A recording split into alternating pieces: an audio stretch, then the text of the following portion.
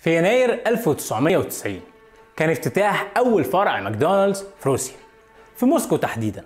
وقتها كان الروس مشتاقين لأي حاجة من ريحة الغرب والثقافة الغربية انتهاء الشيوعية والانفتاح على الرأسمالية الغربية. فرع ماكدونالدز اللي افتتح في روسيا سنة 1990 كان أكبر فرع فتحته ماكدونالدز وقتها. الناس كانت واقفة طوابير محدش كان يتخيلها. وصلت إنك ممكن تنتظر 3 ساعات علشان تعمل order ماكدونالدز. وباع حوالي 34 ألف ساندويتش برجر في أول يوم بس. ماكدونالدز عين وقتها حوالي 630 موظف من أصل 27 ألف متقدم للوظيفة. وكلهم كانوا متدربين إنهم يبتسموا. وده على عكس الثقافة السوفيتية الصارمة اللي ما تعرفش الهزار. بس بعد 32 سنة أعلنت ماكدونالدز إنها هتقفل كل فروعها في روسيا مؤقتا. وطبعا زي ما كلنا عارفين ده نتيجة حرب روسيا وأوكرانيا. عدد الفروع اللي هتتقفل دلوقتي بيساوي 850 فرع اللي بتمثل حوالي 9% من إيرادات ماكدونالدز العالمية. لأن ماكدونالدز تمتلك أغلب الفروع هناك بنفسها. طبعا سهم ماكدونالدز انخفض جدا من وقت الحرب خصوصا لما أعلنوا إغلاق الفروع دي.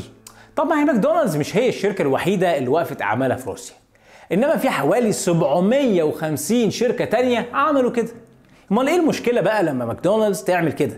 هيأثر بإيه يعني؟ يعني إيه الفرق بين ماكدونالدز وستاربكس وبيبسيكو وكوكا كولا؟ من ال 850 فرع بتوع ماكدونالدز في روسيا 84% من الفروع دي بيتم تشغيلها من خلال ماكدونالدز نفسها. الباقي بيبقى عن طريق ال franchise.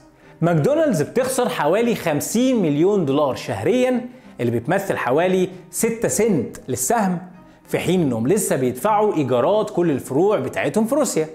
بيخسروا طبعا نتيجة الإغلاق اللي عملوه.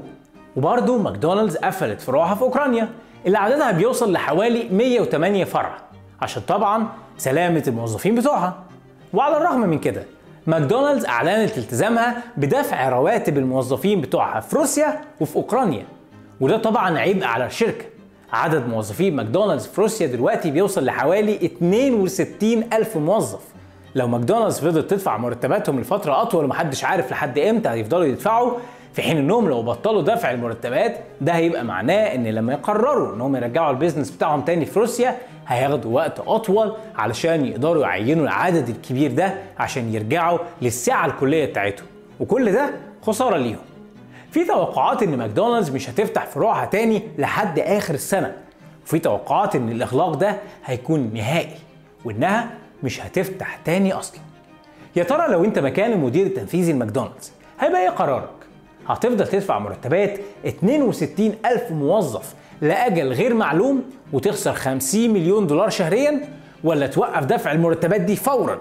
أخذا في الاعتبار إن قرارك ده هيبقى معناه إنك علشان ترجع الشغل تاني وترجع الفروع دي كلها للكاباسيتي بتاعتها هتحتاج وقت كبير قوي علشان تعين الناس دي تاني.